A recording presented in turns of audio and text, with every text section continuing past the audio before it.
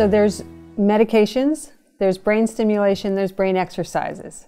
How about natural supplements um, to help prevent or reduce the progression of Alzheimer's? So there are many that I think are helpful.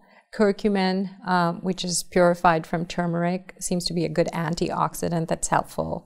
Blueberries are helpful. Uh, resveratrol, which is a component that's found in red wine, is helpful.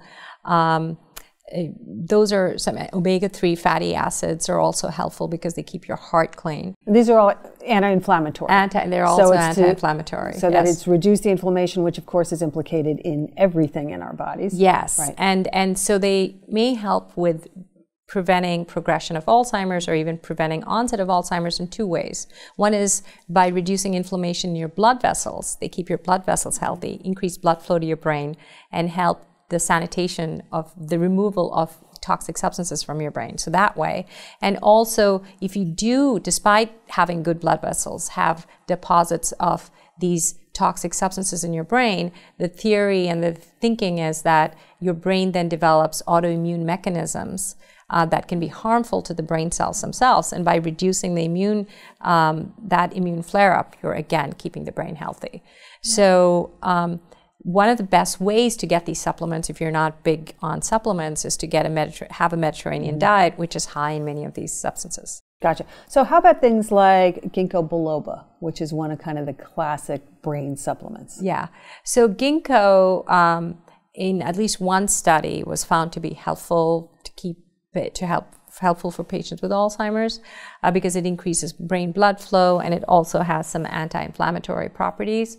Um, my big issue with ginkgo is that um, because again we're getting it from supplements, we don't really quite know the dose of it, and there are cases now where it's caused bleeding into the brain.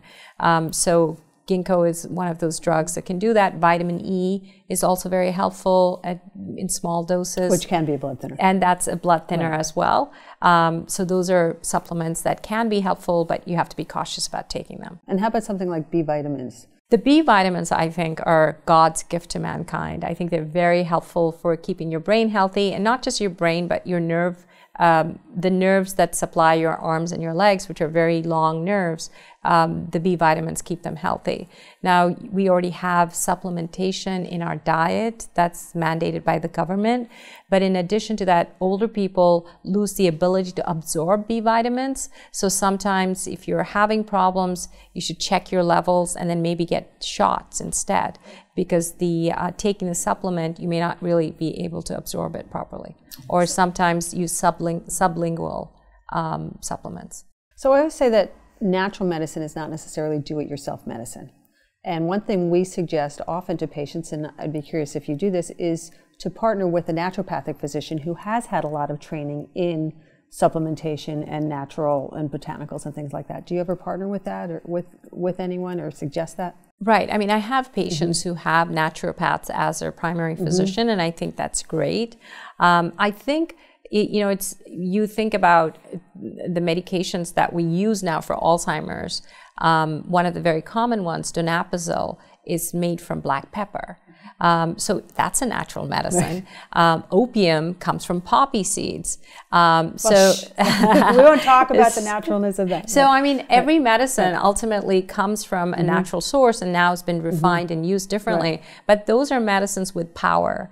So I think you, we can't just take these medications without thinking about what the side effects could be, how they could be helping us, but also maybe harming us. So if you can work with someone who knows exactly what's happening with them, I think they need to be monitored and supervised. Yeah, no, I firmly agree with it because, yeah. again, it, they really do work. They yeah. may be natural. You may be able to buy it at the, the corner health food store, but they definitely have powerful impact. Yeah. All right. Yes. Thanks for being open to it. Thank you.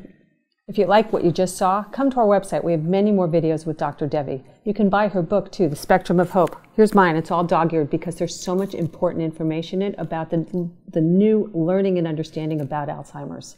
And do me a favor, do that social thing. Let other people know about these very important videos. Come to our website, bottomlineinc.com.